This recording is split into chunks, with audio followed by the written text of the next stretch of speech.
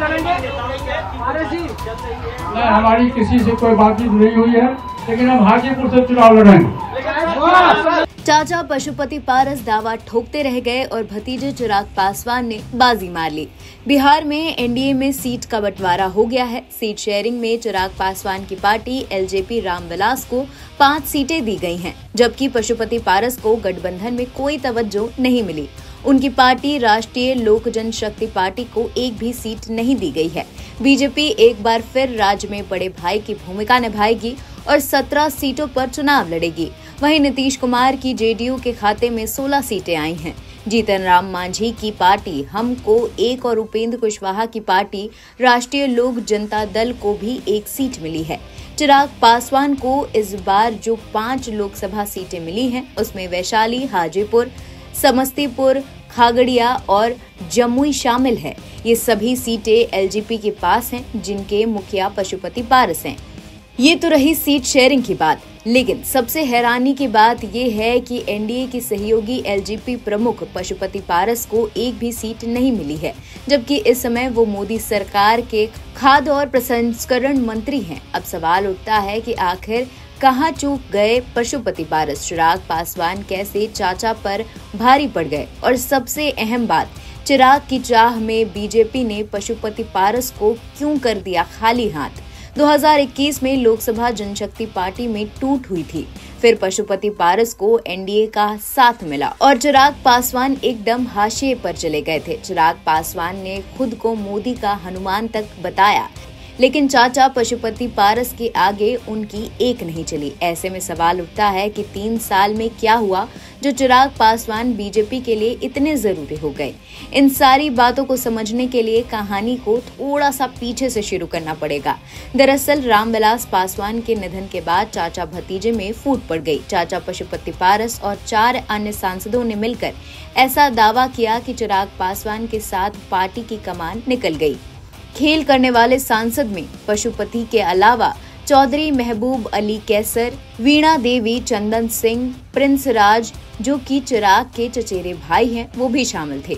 Party में टूट के बाद चिराग पासवान अपनी पार्टी में अकेले सांसद रह गए। लंबे समय तक ये माना जाता रहा कि पशुपति पारस का गोट बेहद मज़बूत है और एनडीए में सबसे अच्छी हिस्सेदारी मिलती रहेगी।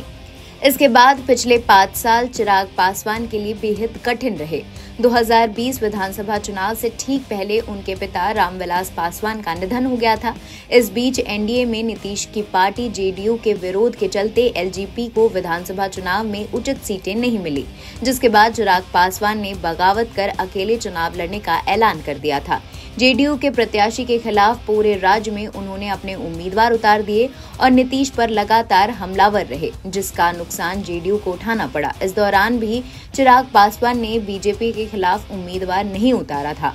पार्टी में टूट के बाद चिराग पासवान को रामविलास पासवान का दिल्ली स्थित सरकारी बंगला भी खाली करना पड़ा था। इस दौरान चिराग पासवान काफ़ी भावुक हो गए थे, लेकिन उन्होंने उस दौर में भी पीएम मोदी और बीजेपी के खिलाफ कोई बयान नहीं दिया था। और चिराग पासवान हमेशा से खुद को पीएम मोदी का हनुमान बताते रहे। और आखिरकार चिराग पासवान की सक्रियता और रामविलास पासवान की विरासत उनके काम आ गई। बिहार की सियासत में माना जाता रहा है कि रामविलास पासवान वोट ट्रांसफ़र करवाने के मामले में सबसे माहिर नेता हैं। लंबे समय तक कहा जाता रहा है कि रामविलास पासवान जिधर जाते हैं, जीत उस गठबंधन की हो जाती है।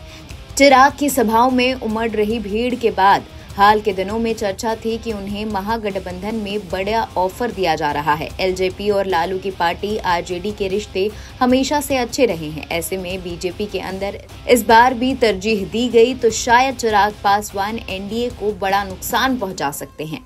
पार्टी की बड़ी टूट और चाचा पशुपति पारस की रार के बाद चिराग पासवान ने बिहार से लेकर दिल्ली तक खूब मेहनत की।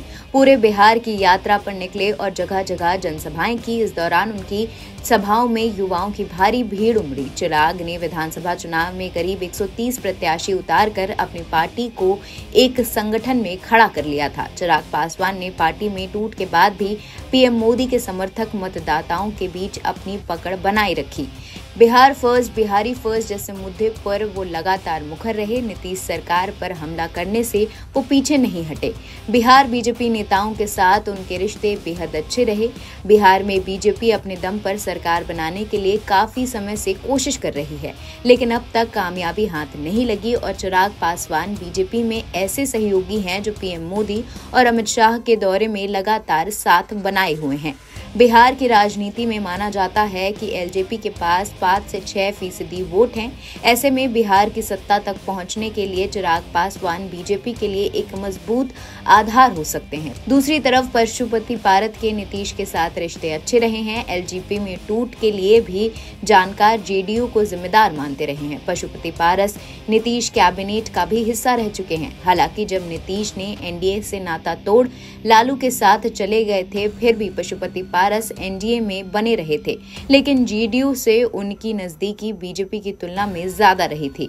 ऐसे में पशुपति पारस के साथ बीजेपी और संघ के नेताओं के रिश्ते बहुत अच्छे नहीं रहे। शायद इन्हीं वजहों से 2024 के चुनावी रण की शुरुआती दिनों में ही चिराग ने अपने चाचा पशुपति पारस को पिछाड़ दिया है। एनबीटी ऑनलाइन की रिपोर्ट।